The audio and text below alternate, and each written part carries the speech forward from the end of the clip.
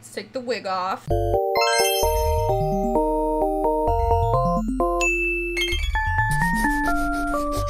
Hello everyone, welcome back to my channel. It's Morbid Gamer here. Just in case you didn't know, we had an influx of new people subscribing to the channel, so just want to say hey, welcome. Not only that, just in case you haven't noticed, we hit 10k.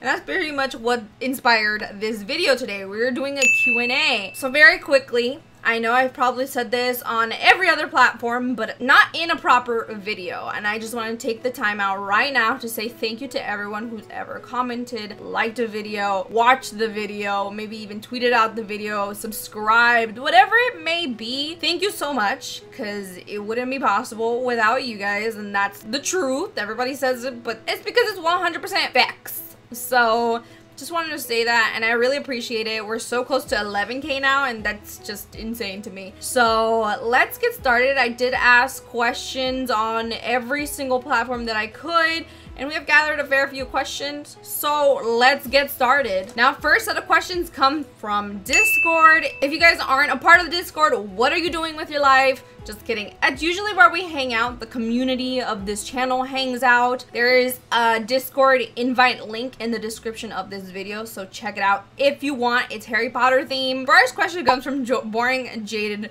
what did you work as before becoming a YouTuber? So one, I did work with my mom for a good hot minute there. She owns a hair salon, so I did act as her assistant for a good while there and got a good chunk of change. I was a waitress for a good cool minute. That didn't last very long. Waitressing is very hard. I was a nanny for a good while there too. Nannies are, being a nanny was pretty fun, I will say that. And then worked in the food industry too. So there you go.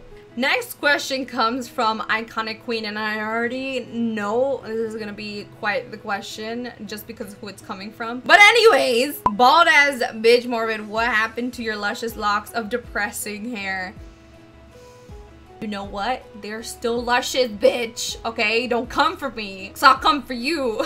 Just kidding. We're messing around. We play like that. But anyways, um, to give a little context to this question, I did used to have long hair. Then I cut it really, really, really short because I just wanted to. And I love my hair short now. And I wear wigs in case you didn't know. And it's just so much easier. So there you have it. I busted a Britney Spears chopped it all off. Now that's enough of Discord. Now we're moving on to the YouTube community tab. I do post there from time to time, so keep an eye out. But first question actually comes from Kain Camille. Probably butchered your name 100%. But you did ask when are you going to do a Get Famous. Have been waiting. Um, so wait no longer fam because I have posted a new Get Famous episode up on my channel check it out. Next question comes from Lil Angel. What made you decide to become a Sims tuber? So I didn't start out as a Sims tuber, but what made me decide to become one is because I've always been really, really obsessed with The Sims. When I was working or when I was in school or I was trying to make videos, Sims was always on the back of my mind. I love playing and spending hours. I would stay up so late throughout the night and into the morning to just play Sims and just do whatever. And I realized I have such a love for it. Why not make a channel for it and do that? So it started off kind of as a hobby at first, but now I've turned it into something that I really, really am passionate about and want to do. So that's cool. Plus, shout outs to xmiramira and Yanni. She used to be known as Legit Kawaii, I think. They really inspired me and kind of pushed me to become a Simstuber. So just want to put that out there. Next question comes from Enchanted Simmer. Anyways, you asked how old were you when you first started making videos. I think I was 16 maybe? This video is currently the oldest video that I have on my channel still up, but I did have other videos. I might have been when I was like 18 or 17, roughly around there. So don't know exact age, but we can kind of guess. Next question comes from G Sizzle E, full name. What's your favorite site to get to see and why? It used to be Lana CC Finds, but in case you haven't noticed, she hasn't really posted anything in a really, really long time. And has gone AWOL. NANI? So I'm gonna have to go with Simsdom. That or just your Tumblr, like reblogging. Favorite TV show? I actually have a lot of TV shows that I like, but if I had to choose one, it would probably be Young Justice. Young Justice is a show that I really, really love. I always go back to it and rewatch Actually, I have so many. What am I thinking? Like Sex and the City is another one that I really love. X-Men Evolution I love. Game of Thrones, except for that last season. Sex Education. Oh my god, there's just so many. I can't. I can't choose. Unique Simmer asks, what is your favorite expansion game and stuff pack so far? Favorite expansion game? Thus far is Seasons. It's complete game changer. Has no world, but it didn't even need it. It just changed the game completely. And I love it for that. And then favorite stuff pack. Actually, this is kind of a trick question because I don't have a favorite stuff pack. I don't like any stuff pack. But if I had to choose the best one out of all of them, it'd probably be like movie hangout or laundry day. One of those two. But usually I don't lean towards having liking stuff packs. Mm. M asks, when did you start playing Sims and do you play any other games apart from Sims? By the way, I love you so much. Love you so much too. When I started playing The Sims, I was probably like seven or six. I went over to a cousin's house for a sleepover and she had Sims, the first Sims game ever and I played it and I was hooked. I they had to pry my greedy little child hands off that computer. I swear. I as soon as I got home I was like, we need this game and I found it at Costco of all places. So, and to answer the second part of your question, I do play other games. I love playing TF2. I love House Flipper. I love playing Overwatch. I enjoy Animal Crossing. I can't wait for the new one. I love that uh, Breath of the Wild game on the Switch. Really good. Stardew Valley is another game that I really like. World of Warcraft. I've been playing for a long time. So, there's a lot.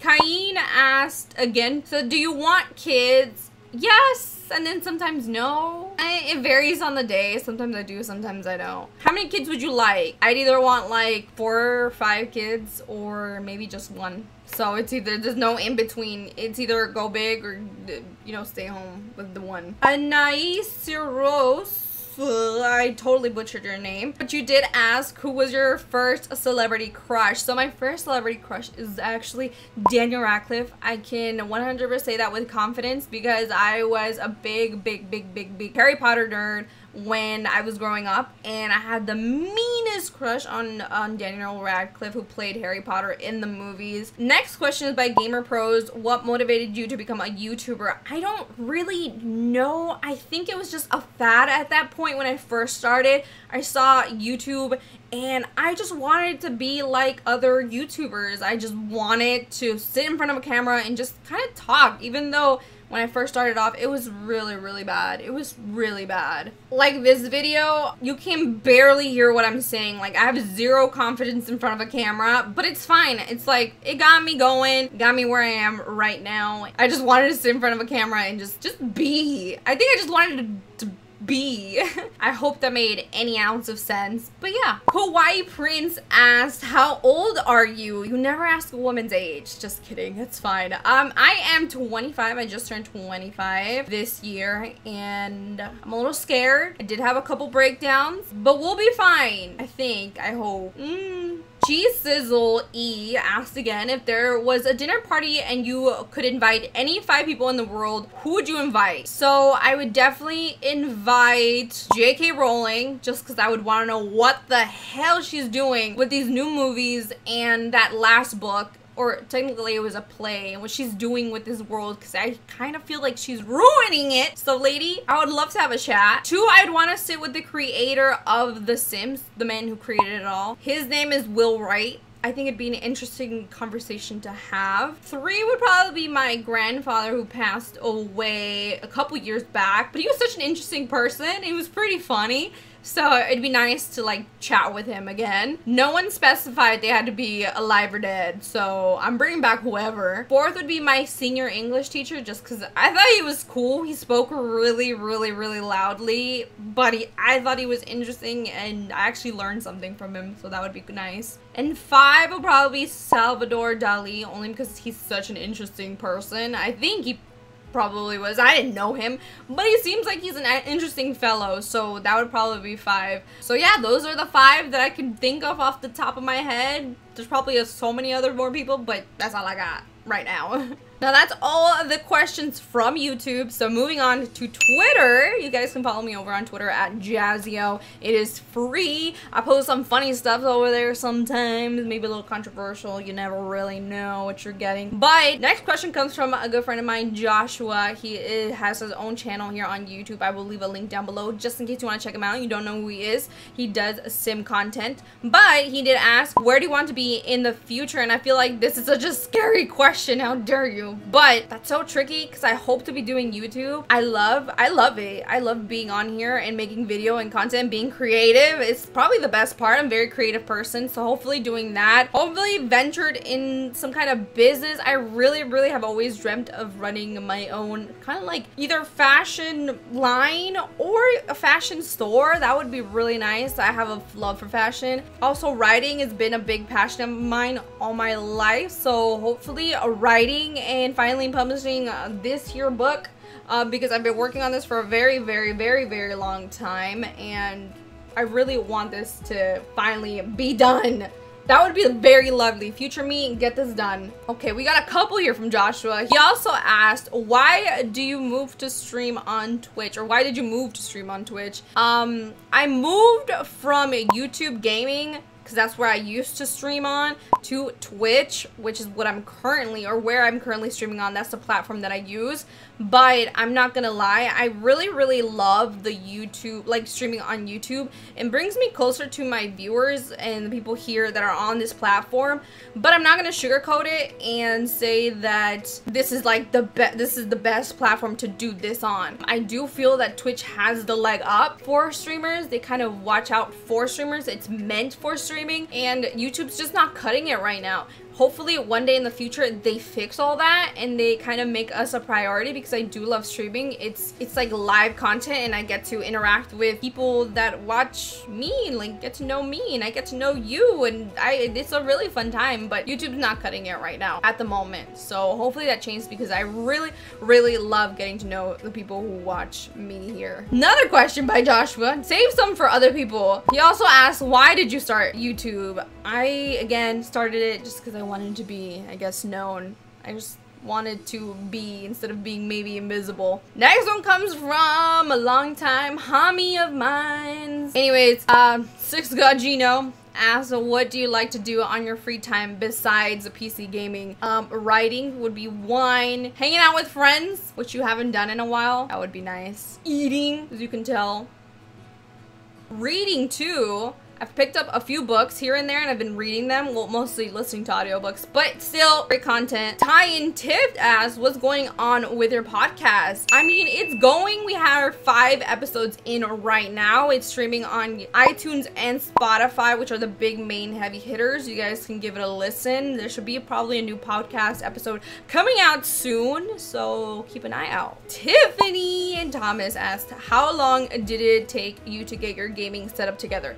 Took me quite a while. I started it a couple years back, maybe like two years ago, if I'm not mistaken, probably two years ago. And I've still been working on it and it's still not done. So it's been quite the ride. So I'm, I'm gonna say two, two plus years. And then Alyssa over on Twitter asked, have you ever been in any YouTube drama? Not that I can say of right now no, not any YouTube drama. I'd like to avoid it actually, but sometimes things are just not avoidable. So we'll see what the future has in store. Oh god, I'm kind of scared now. Ghost Cake asks, how do you become a good YouTuber? I think, I feel like there's a lot of answers to this, but for me personally, right now, something that I feel like is very true is learning from your mistakes not even just mistakes but like you can always be improving if you watch back certain things like maybe a video that you made you're like oh I could improve here I could be improve in my intros I can improve in my execution of certain stuff like you, you know you can always improve and I'm always looking to improve my content and basically what I'm trying to say is that you should just stay improving and looking back at your old stuff and I think that's what makes a good YouTuber, always trying to be better. So now we're moving on to Instagram. Uh, you can find me at Jazzzio also. I post pictures from time to time, not very often.